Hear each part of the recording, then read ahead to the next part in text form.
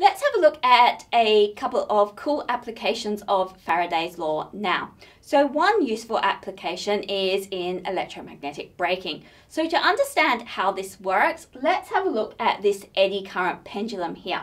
So my eddy current pendulum consists of a metal plate. So this is not magnetic, but it can conduct currents. And this metal plate is going to travel through an electromagnet. So because it's an electromagnet created from solenoids, I can turn the magnetic field on and off. So in this case, I've got a north pole closest to the camera and a south pole furthest from the camera. And so the magnetic field lines are going into the screen. Let's have a look at what happens to my eddy current pendulum. So here it is swinging freely and then when I start current flowing, you can see it comes to a fairly rapid stop. So let's have another look at that.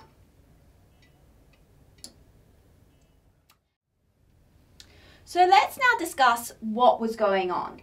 As the metal plate approaches this magnetic field, and we've said that the North Pole is closest to the camera, so the magnetic field in this case is going into the screen then that's going to result in a magnetic field being induced in the plate. The magnetic field which is induced is going to oppose the change that induces it. So we're going to get a magnetic field which is coming out of the screen induced in this plate. So how that will be induced is that we'll get little whirls of current called eddy currents which are induced. And if the induced magnetic field is out of the screen, then we can see that the current is going to have to flow around these little whirls in an anti-clockwise direction. Now, if we consider the net current, which is flowing along this edge here, from those whirls, you can see that along this edge, they're going to sum together and we're going to have a net current which is going down this edge. If we now use the right hand rule and consider our equation F is equal to IL cross B, you can see that there's going to be a force in this case and that that force is going to be back away from the magnets, so in the opposite direction to the velocity. And so this is going to slow the metal plate down. Now once it's passed through the magnetic field and is starting to move away, we're now going to get a magnetic field which is induced into the screen because the magnetic field through the plate is decreasing. So in this case, we're going to get little eddy currents which are flowing again, and those eddy currents are this time going to flow in a clockwise direction so that they induce that magnetic field which is into the screen. So if we consider the net current along this edge, in that case, you can see that the little whirls will add together to give a net current which is going down. And then with our right hand rule and F is equal to IL cross B again, you can see that this is going to result in a force which is back towards the magnet. So once again in the opposite direction to the velocity. So as a result of this, it's going to quite rapidly bring the plate to a stop. So eddy currents are used in electromagnetic braking. Electromagnetic braking is commonly used to slow down rotational motion. So the eddy currents which are generated oppose the change which is inducing them and this provides a torque acting in the opposite direction to the direction of the initial motion. Now, eddy currents are also used in induction cooktops. In an induction cooktop, we have a changing magnetic field, which then induces eddy currents to flow in metal saucepans that we put on top of our stove. And so it's actually the resistance to those eddy currents to which are producing the current, which causes the saucepan to heat up and that energy is then transferred into whatever we're cooking in our saucepan. So another really cool application of Faraday's law is in the Tesla coil.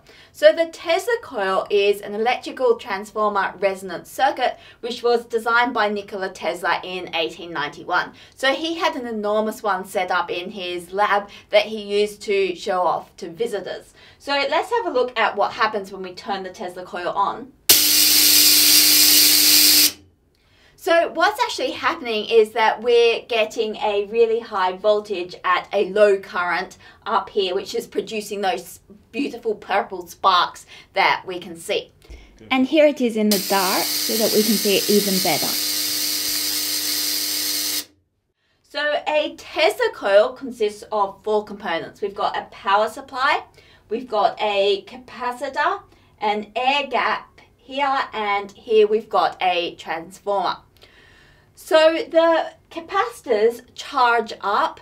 Once the charge on the capacitor gets high enough, then that charge induces an electric field across the spark gap, which is high enough to rip apart the air molecules, ionizing them, which allows sparks to jump across the spark gap like this.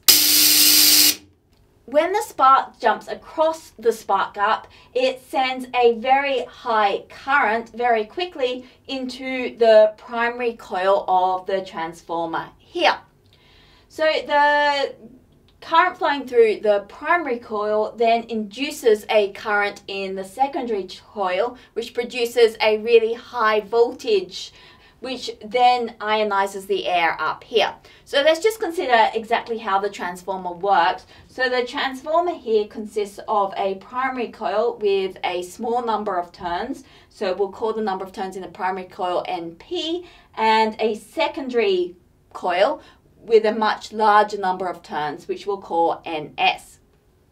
Now, because these are wrapped about the same core, we've got essentially the same changing magnetic flux through both the primary coil and the secondary coil. So for the primary coil, we can write, well, the voltage induced across it, the EMF, we can write as Vp is equal to minus Np d phi b dt using Faraday's law. And for the secondary coil, we've got that the voltage induced across this, Vs, is equal to minus Ns d phi b dt.